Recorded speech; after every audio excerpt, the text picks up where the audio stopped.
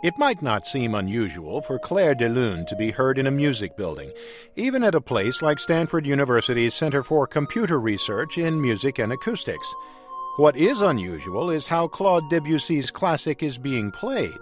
Assistant professor and Princeton PhD Ge Wang is making music using the Ocarina app on his iPhone. Wang's first exposure to music came from his grandparents, who gave him an accordion when he was a boy. When his parents moved to the United States, Wang took up the guitar when they lived outside of Kansas City. But it was while studying computer science at Duke University that Ge Wang was exposed to computerized music. He later enrolled at Princeton and wrote the computer language that would lead to his app. Ge Wang says he wanted to bring the joy of music even to people with no musical training. The common thread through the apps is there's a well, there's a lot of fun to be had in making music.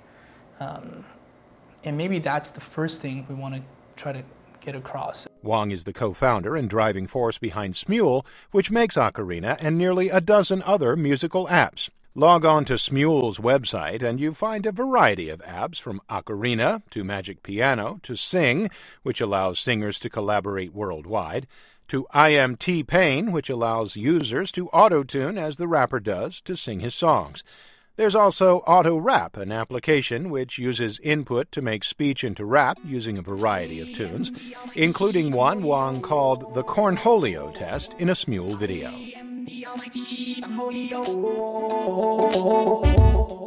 I am the almighty Ocarina has proven to be one of Smule's most popular apps, with more than 8 million downloads since its release.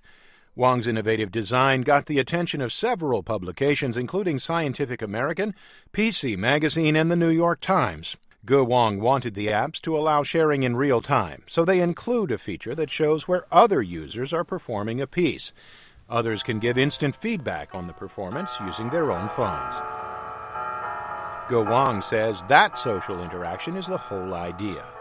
You know, we, we want to really bring the joy of music making to a lot of people, as many people as possible. Yet at the same time, it'd be really nice if we can retain some of the, the very qualities of, of, of more traditional instruments, namely the ability, at least at the very least, to be expressive in some sense.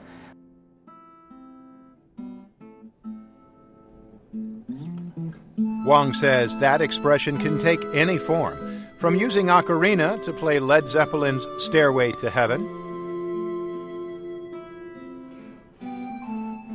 to using Magic Fiddle to play a Bach air,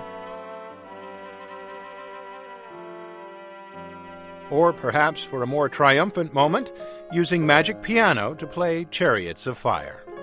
Ge Wang says one of his goals is to connect everyone through music, and he is on his way to doing it one phone at a time. In Palo Alto, California, I'm David Byrd, VOA News.